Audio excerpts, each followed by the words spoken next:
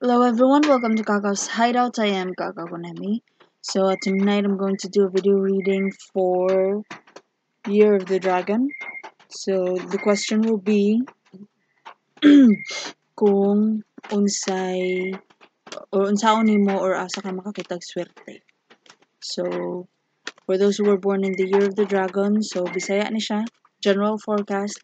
Kung dili matinuod, do not take the message, just ignore. And um, if you would like to donate uh, cash through PayPal or GCash, nara sa description box ang akong links. And uh, you can send me a private message if you would like to have a paid personal reading with me. Na sa description box, gyapon akong Facebook, Instagram, Twitter, TikTok, and WhatsApp. And uh, if you would like to donate as well, uh, either Oracle, uh, no, this is Tarot cards or Oracle cards, just send me a private message. I don't magsabot. Okay. Year of the Dragon. Asa o unsaon nimo makakitag swerte? In what way? Ten of Wands reversed. By letting go of obligations nga dili sa imo in the first place. And this has got something to do with Seven of Pentacles reversed. Seven of Pentacles reversed kay kan ayan na murag niya unsay mo kuan unsay mo sprout kung mutubo ba yan kanog. Reverse na na result. So nakabalo na ka unsay unsay nit kung asa ang kung nitubo ba or wala. So in this case maybe you have been helping a faithful. you have been helping people for so long nga kabalo nakaakin sa ang maayo investan og money, time, affection, efforts versus dun sa dili worthy kay gasalig lang sa imo. So, mas makakita kag swerte if you let go of the obligations or uh, responsibility sa laing tao nga sa imo lang gasalig. Nga pwede man unta nga sila magayom-ayom or sila ay pwedeng magdiskarte nga ilara pero sa imo pagyapon isalig. So, mas mayo i-let go ng mga inganang klase nga tao and focus dun sa gatabangan nimo nga gatabangan po nila ilang kaugalingon. And if you go and um what else is uh, what's the best thing to do about this situation? Two of Pentacles upright. So start saving, start considering your future kung asa ang para sa imo, asa ang para sa lain, ang angay itabang. So kung sa una um, hatag lang ka pirmi para wala na kubot, para wala na dagan storya, sige imo na lang ni. So ma, ma sama ka di malason kumbaga. So this time you have to say no to people nga murag gimo na hinong kang ATM. Year of the Dragon. And try considering um, earning for yourself for your future. Kay let's face it, kung makamang nakaugma simbak ko, kining mong gipang tabangan nimo dako labi na ning labi na ning gitabangan nimo niyo wala ka tabangan lang kaugalingon. Kung simba kung maon ka, especially financially, samot ni sila wala itabang nimo in return. Not necessarily nga matabang lang ka uh, if na kay makuha in return.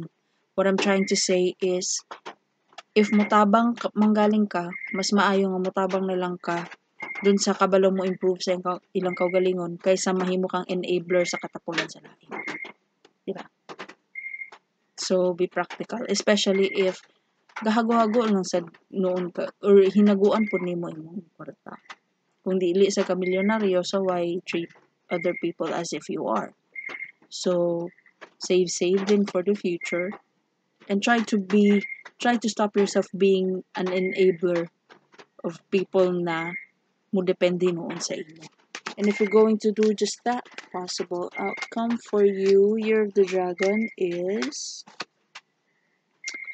Two of Swords reversed. So, na kay ma-finalize nga maybe sa una ra nimong gina ginatimbang if maayo ba o dili pero murag karon kay mas maka, ma ma-finalize na nimo siya dali maybe this has got something to do with finalizing a document maybe a training a certificate nga gusto nimong ma-achieve or recognition somewhere nga kinahanglan kag papeles as proof nga na-undergo ka ana nga training, nakapasar ka ana. Pero let's say for example kanang IELTS, maybe wala kay panggasto sa review kay naa kay na sige nimo itabang sa lain. So if minusan nimo ang gatabangan nimo o mag-focus ka dadtong tawo nga kabalo mo sa ilang kagalingon, mas maka-focus ka sa imong kagalingong goals. May it be training, exam kinahanglan ipasa or anything na kinahanglan ma-accomplish nga manginahanglan og budget.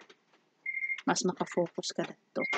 Bottom of the deck is Nine of Cups reversed. Maybe this is something nga sa una gitry nimo pero kay naalagi ni siya kanang naa kay burdens nga kinahanglan unahon kung buto na naon pwede man nga sila ray mag diskarte og ilang anong sa imo pa man mangayo maybe na fail nimo siya because nine of uh, cups reversed is trying again. So let go sa mga obligations nga pwedeng lain na sadang mag magbago. And then you'll be able to focus on I'm I'm really sensing exam like IELTS murag nga uh, nga kinahanglan ma-accomplish nimo makapasar ka aron makakuha kag papeles nga legit ka ni undergo ka ana nga training. Maybe the, after that ma maka-focus na ka sa pag-review, makapasar na ka o maka move forward na ka sa imong personal goals. Okay? So there, that's for you, Year of the Dragon. If you like the part of the reading, like, share, comment, and subscribe. If you have any suggestions for pick a card readings in the future, just comment down below. And yeah, thank you so much for watching, guys. Have a nice one.